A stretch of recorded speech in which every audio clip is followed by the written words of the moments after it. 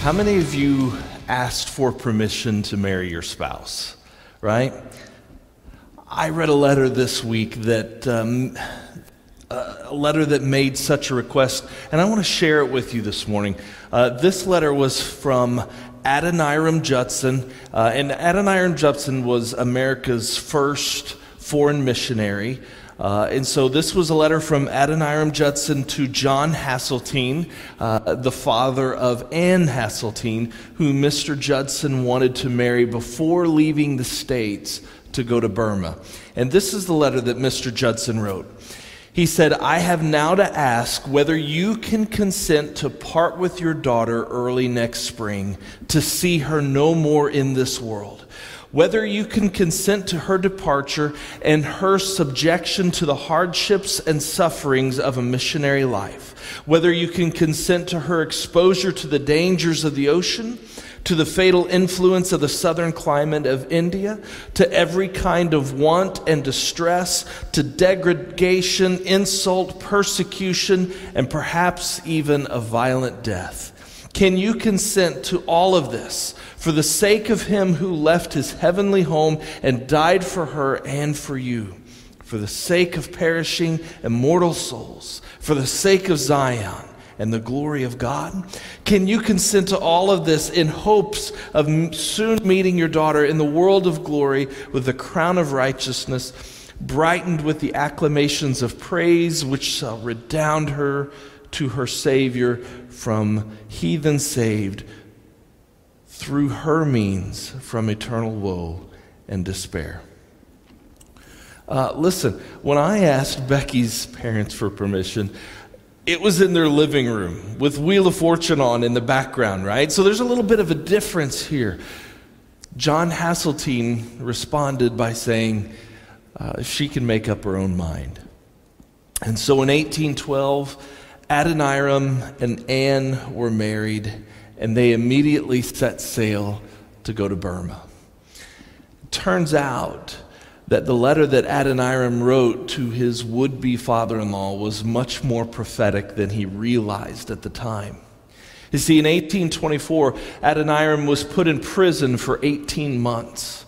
And while he was in prison, uh, he was nearly crippled from torture.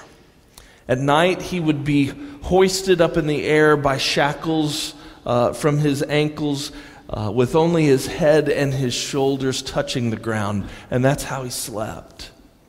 But soon after landing in prison, he found out that he was going to be a dad, that Anne was expecting. And she would walk two miles every day to plead for Adoniram's release. But to no avail, right? Soon their daughter Maria was born. But after giving birth, Anne became very sick, became very thin, and Anne's milk dried up, and she had no way to feed baby Maria. Eventually, uh, the jailer had mercy on Adoniram and began to let him out of prison every evening uh, for just a few hours so that he could take Maria and go to uh, a neighboring village and, and beg for other nursing mothers to feed her. Adoniram was released from prison just in time to watch Anne die.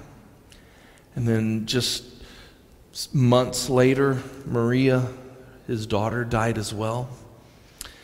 Adoniram married again, but his second wife also died on the mission field. And six other children that he had, he would bury in Burma before dying himself at age 61. This morning, we are continuing a series called From Here to There. And sometimes, what we need to get from here to there, sometimes what we need to get from where we are to where we need to be, is a little perspective.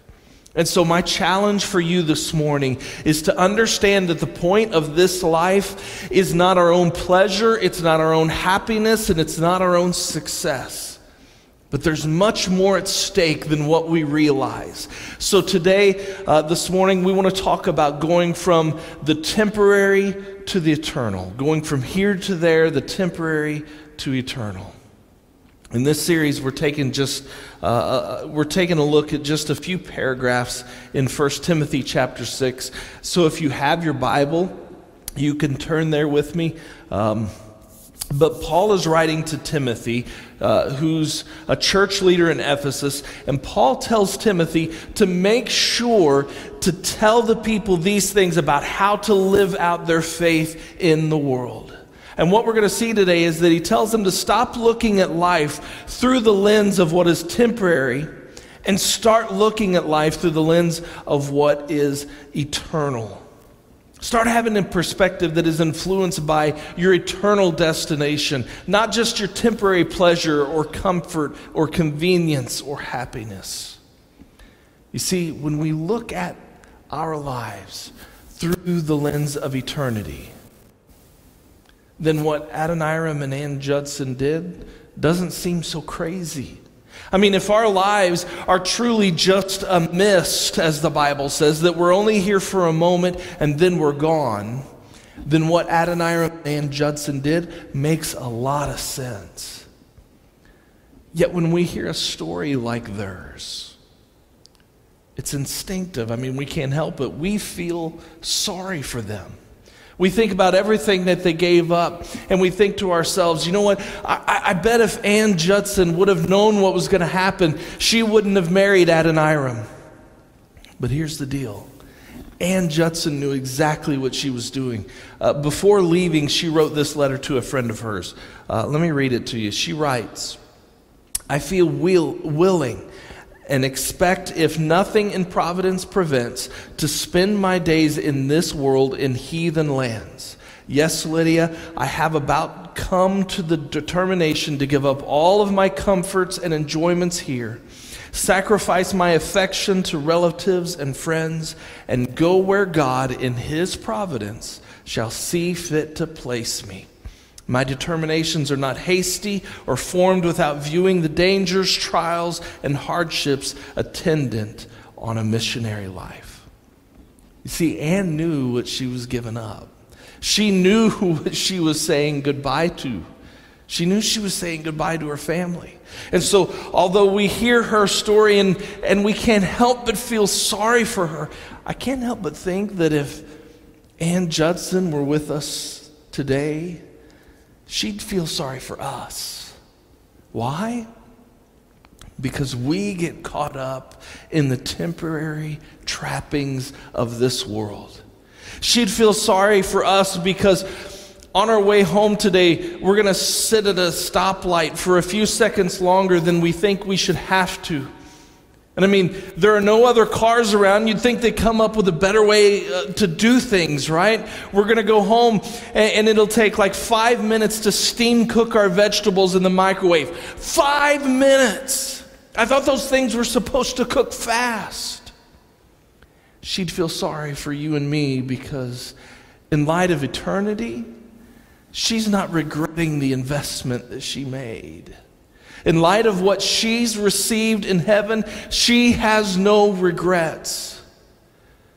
It's a good investment when you live your life with eternity in mind. And you say, Well, Pastor Joshua, how do you know what she received in heaven? How can you make that statement? Because Jesus said it. Matthew chapter 19, uh, verse, verses 28 through 30, Jesus said, Truly I tell you, at the renewal of all things, when the Son of Man sits on his glorious throne, you who have followed me will also sit on twelve thrones, judging the twelve tribes of Israel. And everyone who, have, who has left houses, or brothers, or sisters, or father, or mother, or wife, or children, or fields, for my sake, will receive a hundred times as much and will inherit eternal life. But many who are first will be last, and many who are last will be first. Jesus basically says that the point of this life is to prepare for the next. And that those who sacrifice, those who don't live for themselves, but those who live for Jesus and his kingdom, he says there's an enormous rate of return that awaits you.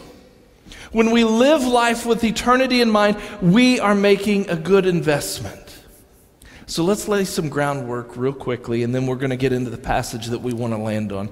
I want you to read 1 Timothy chapter 6 with me. Um, we're going to start in verse 6, okay? Um, chapter 6, verse 6. But godliness with contentment is great gain. For we brought nothing into the world, and we can take nothing out of it. But if we have food and clothing, we will be content with that. Those who want to get rich fall into temptation and a trap and into many foolish and harmful desires that plunge people into ruin and destruction. For the love of money is a root of all kinds of evil. Some people, eager for money, have wandered from the faith and pierced themselves with many griefs. Paul says a lot of things here, and we're very familiar with the love of money passage. But overall, Paul is saying, don't get so caught up in, con- in the convenience and the comforts of this life.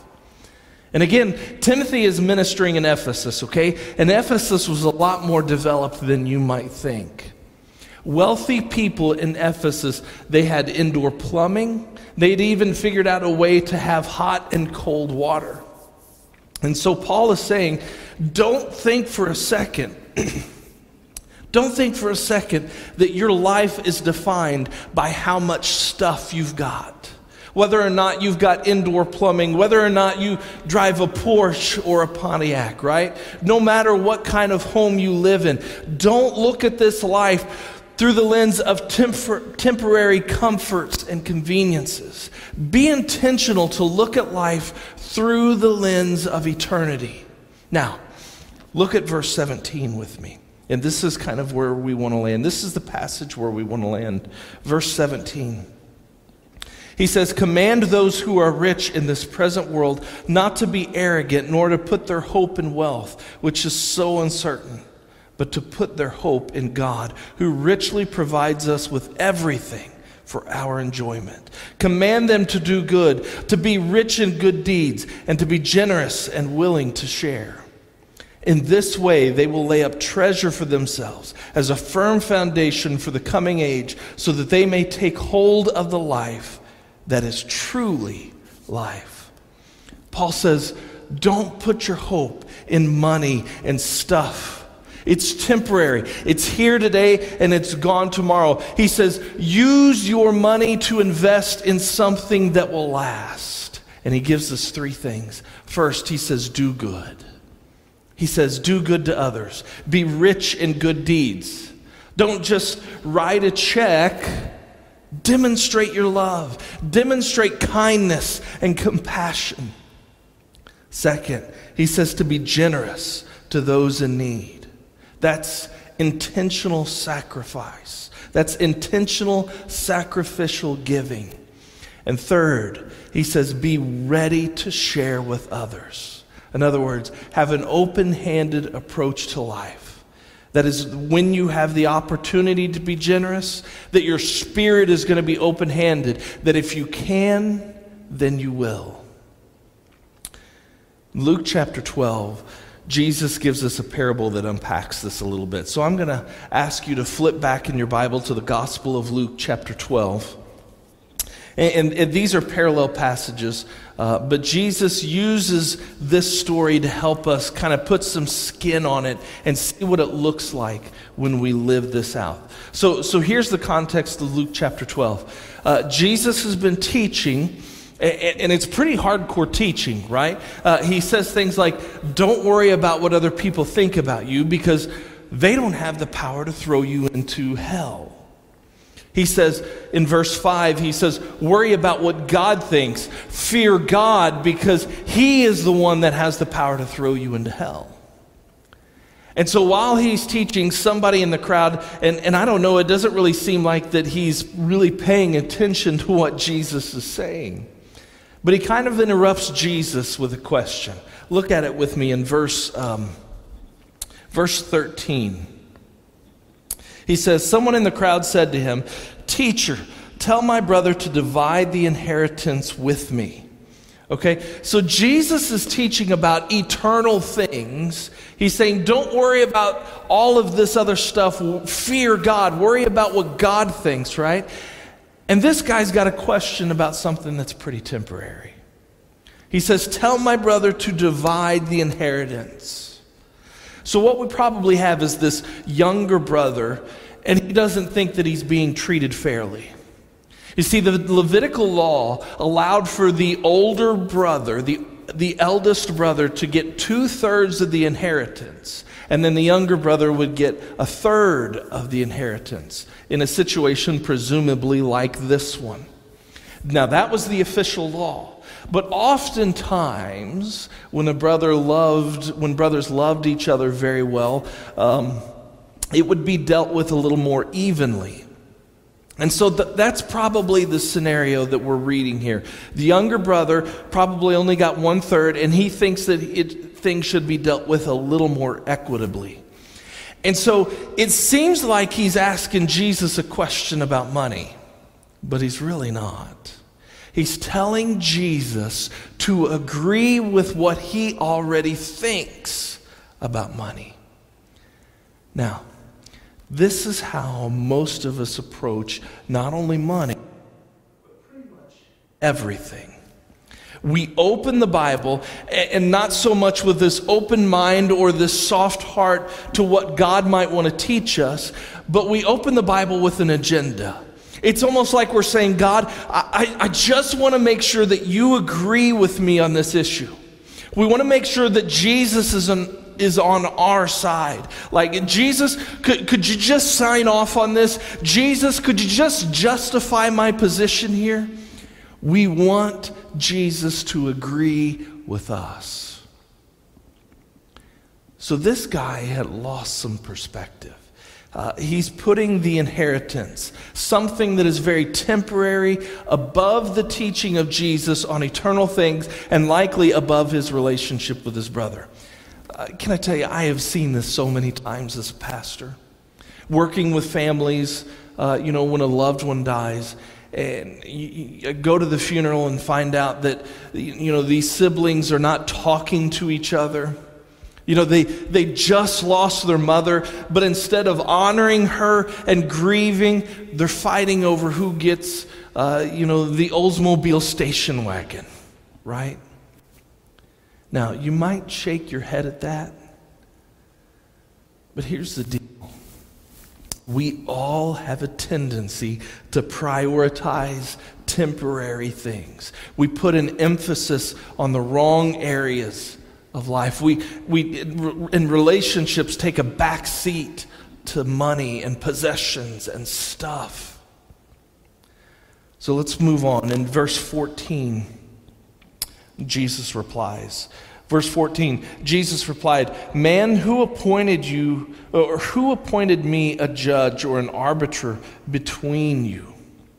He's going to turn this into a teachable moment, right? And, and, he begins to tell this parable. Skip down to verse 16.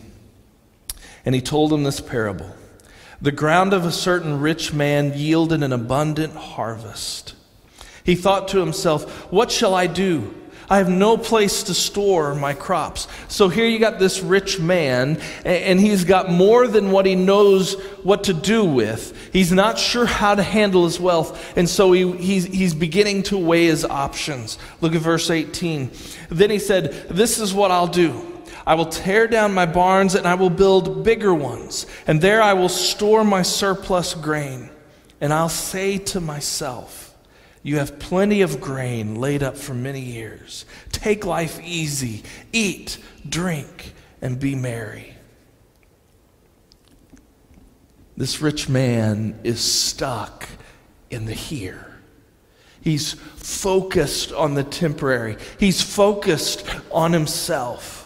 To him, life is all about the temporary pleasures and the, the comforts of this world. But here's the deal in the story God looks down from heaven and he sees this man living for himself. And God has something to say about it.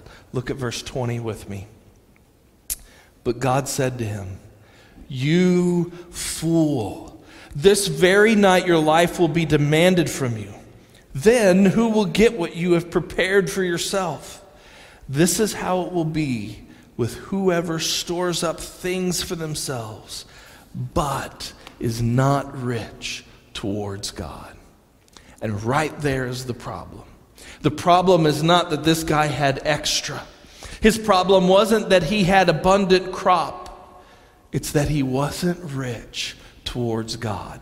He wasn't using what God had given him for eternal purpose. He was using it for his own temporary pleasure and comfort. And Jesus says this man is a fool because he made all those plans, but he was going to die tonight. Now, here's what I want us to notice about this story. Uh, Jesus isn't telling a story uh, about a guy who, who has this huge inheritance, right? And then he goes and he blows everything that he has foolishly on really stupid stuff. He's not talking about somebody who used his money on drugs and wild women, right? This guy is trying to be responsible. He's saving for the future. This guy's planning for the future. And, and isn't this exactly the type of person that we admire? Somebody that saves for the future? But Jesus says, no, he's a fool. He's a fool because he keeps focusing on the long term, but he's not thinking long term enough. He's thinking 30 years from now. But what about 30,000 years from now? What are you going to do what are you going to do one day when you're standing before God? Do you think that God is going to be impressed with your financial portfolio? Do you think that God is going to be impressed that you bought the latest and greatest iPhone and you spent more time messing with that phone than you did playing with your kids? Do you think that God's going to be impressed that you were able to vacation to Fiji when your neighbor was having trouble buying groceries?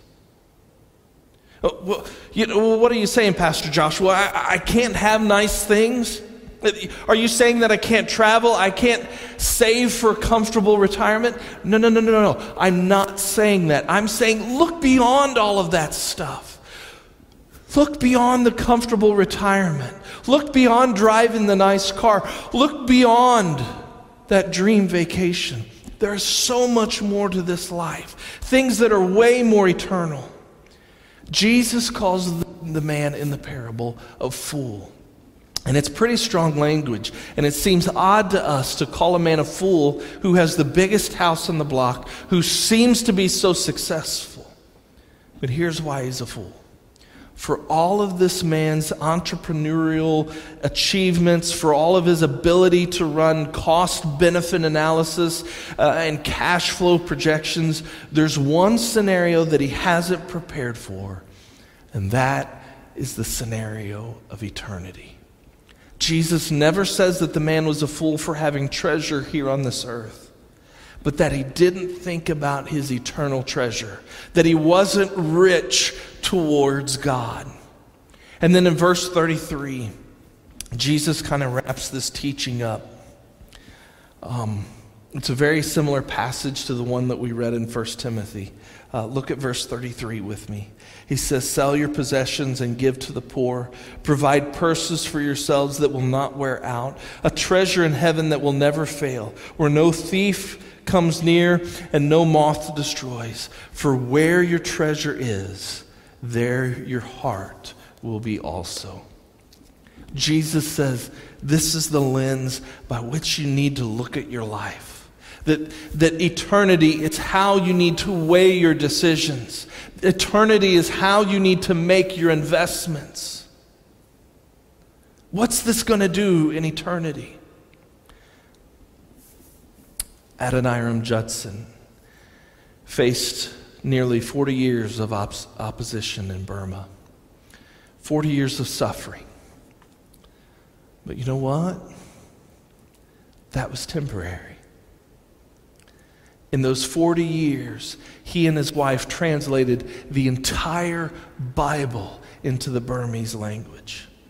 Yeah, uh, Adoniram outlived seven of his own children, but when Adoniram died, there were more than 8,000 children of God in Burma. Today, there are more than 3,700 churches that can all trace their beginning back to the day that Adoniram and Ann Judson decided to set sail to Burma.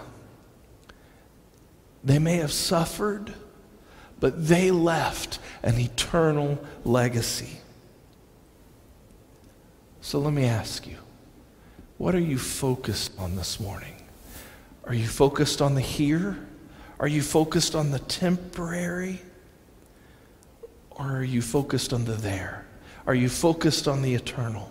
Are you storing up treasures for yourself here on this earth? Or are you storing them up there on, in, in eternity where no thieves are going to come near, where no moths are going to destroy? Are you worried more about the stuff here that you can attain, or are you focused on what you can do for the kingdom of God? Are you rich in good deeds? Are you rich towards God? I want to ask you right now in your living room to make a decision this morning that affects eternity. The decision is going to be different for everybody, right? It might mean trusting Jesus with your life. Listen, if you have never trusted Jesus with your life, then I ask you this morning to surrender yourself to Jesus today. The Bible tells us that salvation is a free gift given by God for all those who would accept it. All you have to do is you have to repent. Repent of this life that you've lived.